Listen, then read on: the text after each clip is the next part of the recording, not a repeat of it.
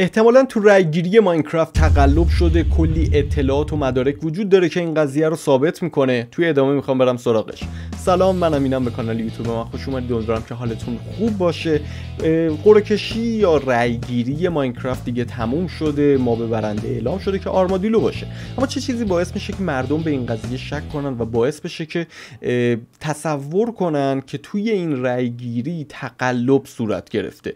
خب طبیعتا من این کار رو انجام دادم. یعنی اومدم توی کامیونیتیم یه دونه رای گیری برگزار کردم برای شما و پرسیدم که به کدوم ماب رای می‌دید. خیلی از یوتیوبرها تو کامیونیتی خارجی که اتفاقا تمام رای ها رو اونا هم دادن اومدن این کار رو انجام دادن و توی پلتفرم های مختلف از یوتیوب گرفته تا اینستاگرام توییتر نمی‌دونم جاهای مختلف اومدن و رای گیری برگزار کردن.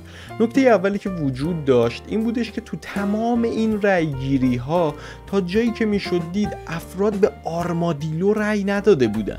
یعنی درسته به هر حال یه درصدی توی هر رای گیری به آرمادیلو رای دادن. اما عموما یا به پنگوئن رای داده بودن یا به خرچنگ و اینا رأیاشون بیشتر بود. به خاطر همینم بود که اصلا وقتی آرمادیلو به عنوان برنده انتخاب شد همه تعجب کردن. چون انتظارشو نداشتن که community بیاد و به آرمادیلو رای بده. این اتفاق افتاد و همه یهو مشکوک شدن و گفتن که خب okay. شاید یه بحثی داستانی چیزی وجود داشته باشه و خیلی تصمیم گرفتن که برن دنبالش بگردن ببینن دقیقا چه اتفاقی افتاده.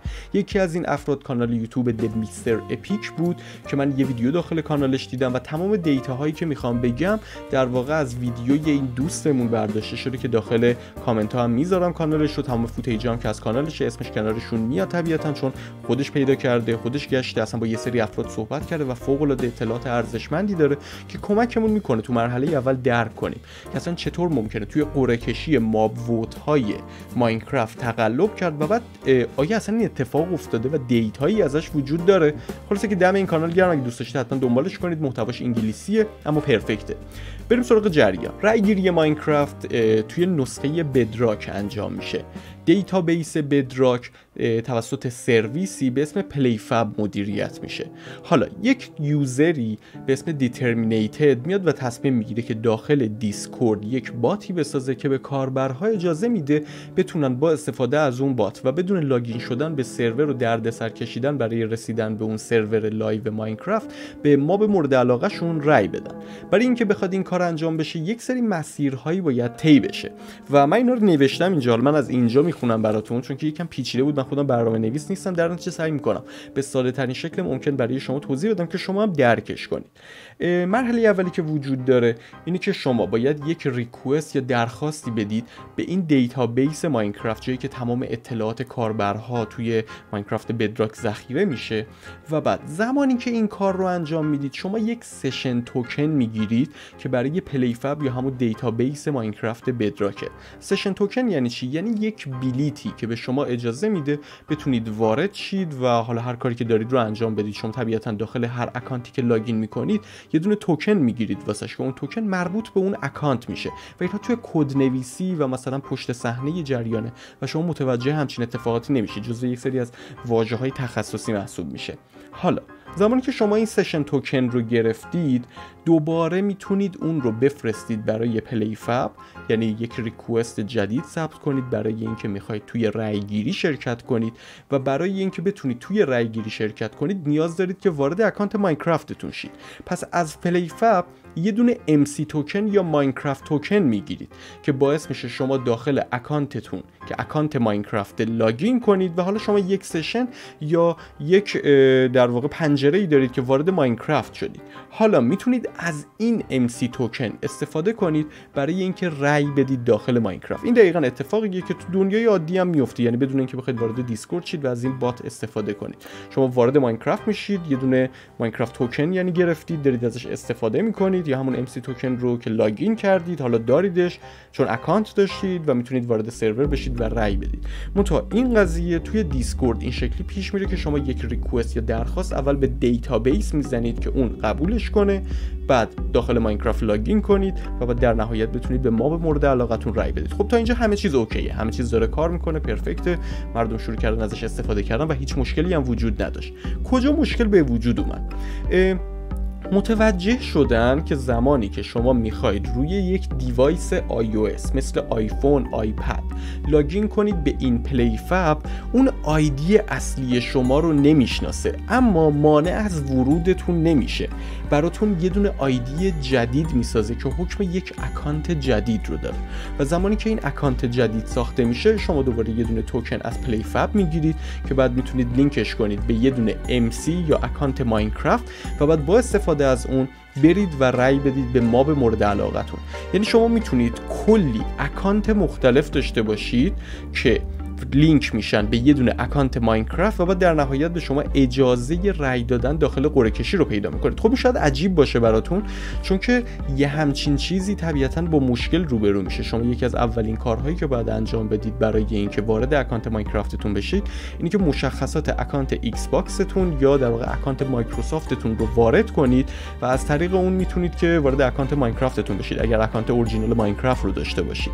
و اینجا یه مشکلی مثل اینکه وجود داشت و اون همینه که این احراز هویت توسط مایکروسافت صورت نمی گرفته و شما هر باری که login می کردید با اون اکانت جدید برای شما داخل PlayFab ساخته می شده روی device iOS تون لینک می شده به یه دونه اکانت ماینکرافت و بعد شما می‌تونستید این پروسه رو مدام تکرار کنید و داخل یک loop بیفته. و بعد در نهایت می‌تونستید از این قضیه استفاده کنید برای اینکه به mob مورد نظرتون داخل ماینکرافت رای بدید. حالا تمام این مسیر می‌تونه تبدیل بشه به یک loop ی که یک ربات خودش انجام میده. یعنی یه دونه device iOS در نظر گرفته میشه توش login میشه به PlayFab بعد یه دونه اکانت جدید ساخته میشه چون ID اصلیه رو نمی‌شناسه. لینک میشه به یه دونه اکانت ماینکرافت. حتی مشخصه که به کدوم mob باید رای داده بشه چون کدش طبیعتا مشخصه. این فرستاده میشه و در نهایت این قضیه هی و هی تکرار میشه. متوجه این جریان میشن اما این leak میشه و میفته دست user هایی که تو سطح اینترنت دارن فعالیت می‌کنن. گروه های مختلفی شکل می‌گیره برای اینکه بخوان از این قضیه سوء استفاده کنن. و برای مثال یکی از این گروه ها تصمیم می‌گیره که بیاد و تمام تلاشش رو بکنه تا آرمادیلو رای بیاره. و میان شروع می‌کنن به اینکه این بات رو بسازن استارتش رو بزنن رای بدن به آرمادیلو. یه گروه دیگه می‌فهمه که داره این اتفاق میفته و تصمیم می‌گیره که بیاد و از خرچنگ دفاع کنه. دوباره این باتر سری می‌سازن میارنش بالا و شروع می‌کنن به خرچنگ رای دادن. و به خاطر همینه که آرمادیلو اول میشه خرچنگ دوم میشه و پنگوان کلا حذف میشه. مثل اینکه این اتفاق تو ساعات پایانی رایگیری میفته و عملا کسی کاری از دستش بر نمیومده و طبق ادعایی که خود این گروه ها کردن سه میلیون رای می‌تونن که برای آرمادیلو جمع کنن و تقریبا یک ممیز سه میلیون رای برای کرب یا همون خرچنگ از طریق بات جمع میشه. تو وقتی به آمار و ارقام نگاه می‌کنید این قضیه یه کمی عجیب غریبه یعنی درست با عقل جور در نمیاد.